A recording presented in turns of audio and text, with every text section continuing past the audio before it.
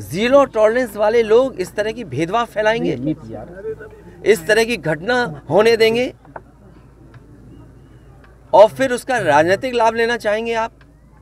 ये जितनी भी तस्वीरें आई हैं जो बीजेपी के नेताओं की आई हैं तस्वीरें मैंने देखी हैं और लोगों ने चर्चा की उन तस्वीरों को देख करके बीजेपी के लोग घटना से राजनीतिक लाभ लेना चाहते हैं।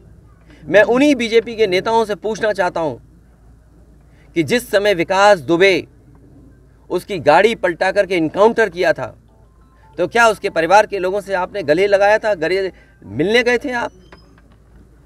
और याद कीजिए वो जगह कानपुर देहात की, जहाँ एक पिता के सामने उसकी पत्नी और उसकी बेटी की जान ले ली बुलडोजर ने आग लगा करके। क्या ये बीजेपी के लोग उनके परिवार के लोगों से गला मिलाए, लगे थे जाकर के?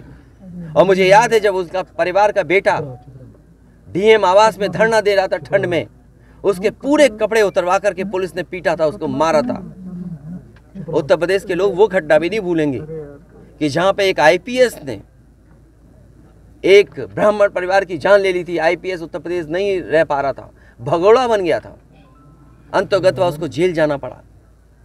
तो बीजेपी के लोगों से मेरी यही सलाह है, बहुत छोटे लोग हैं किसी के दुख में चश्मा लगा करके तुम दुख प्रकट करना चाहते हो? इससे ज़्यादा घटिया काम दिन में कोई नहीं कर सकता। ये ये वो वो लोग हैं जो घटना में राजनीतिक लाभ लेना चाहते हैं। मैं तो कहता हूँ, अगर ये निष्पक्ष हैं और ज़ीरो टॉलरेंस इनके मन में है अगर तो दोनों परिवारों की मदद करें। और भेदभाव नहीं होना चाहिए। आप बुलडोजर से इस घर को डराना चाहते हैं? सवाल घर का गिरने का नहीं है, सवाल आपकी नीयत का है।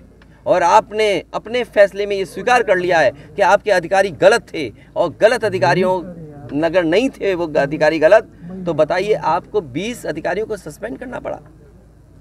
जो अधिकारी यहाँ रह भी नहीं रहे कभी नौकरी किए थे। आपने बड़े अधिकारी क्यों छोड़ दिए आपने? क्या उनकी ज़िम्मेदारी नहीं बनती? अगर आपको ये महसूस हो रहा था कि छोटे अधिकारियों की कारण ही ये ज़मीन इस तरह के विवाद बढ़ा है तो आपने बड़े अधिकारियों को क्यों छोड़ दिया? आपकी ज़ीरो टॉलरेंस की पॉलिसी कहाँ चली गई?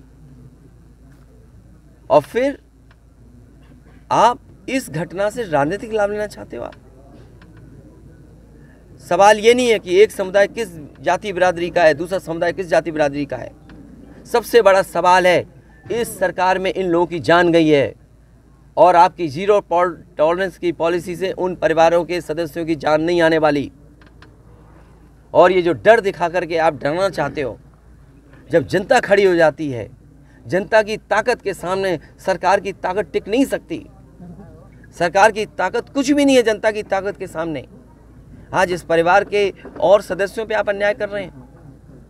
एफआईआर लिखने का तरीका क्या उंगली नहीं उठाता?